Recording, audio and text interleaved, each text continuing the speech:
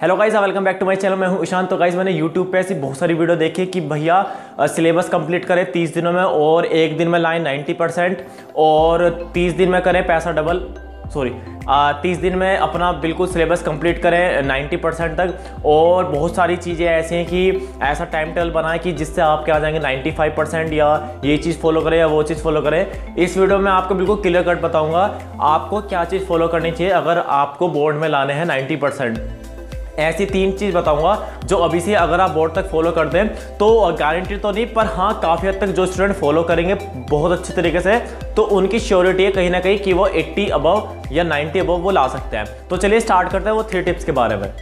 तो स्टूडेंट सबसे पहले मैं बताऊँ कि भैया, आप कितना भी अच्छा टाइम टेबल बना लें, कितना भी कुछ कर लें, पर आप जो है वो टाइम टेबल दो तीन दिन ही चलता है। और मैंने काफ़ी वीडियो ऐसे देखे जिसमें बोलते हैं कि भैया, आपको तीन बजे उठना है, या चार बजे उठना है, या आप अगर सुबह मैथ कर रहे हैं, सुबह साइंस कर रहे हैं। मुझे बताओ भैया, अगर कोई बच्चा है वो रात को लेट तक सो रहा है, या वो रात को लेट तक पढ़ रहा है तो वो सुबह कम से कम नौ बजे उठेगा या आठ बजे उठेगा।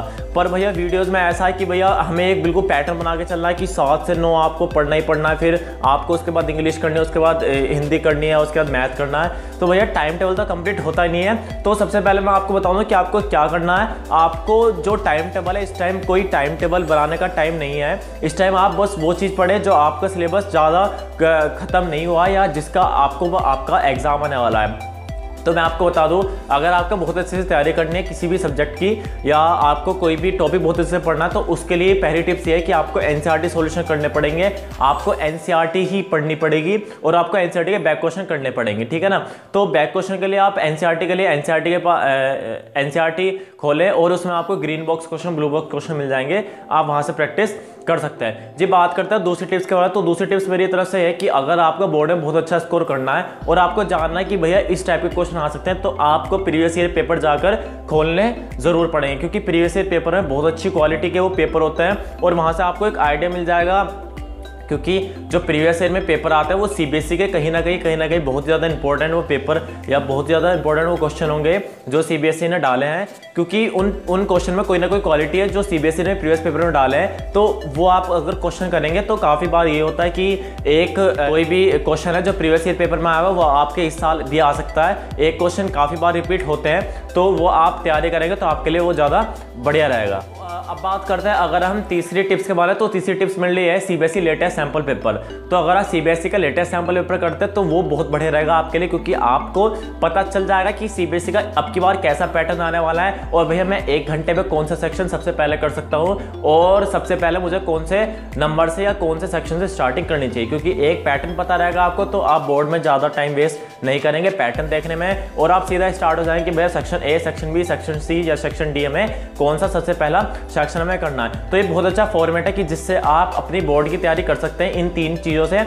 और जो भी ये वीडियो कि भैया एक दिन में आ जाएँगे नब्बे परसेंट या एक एक महीने में आ जाएँगे नब्बे परसेंट। और पूरा सिलेबस खत्म कर देंगे पाँच दिनों में, ये स्टडीज़ फॉलो करें। ये काफ़ी चीज़ें फेक हैं।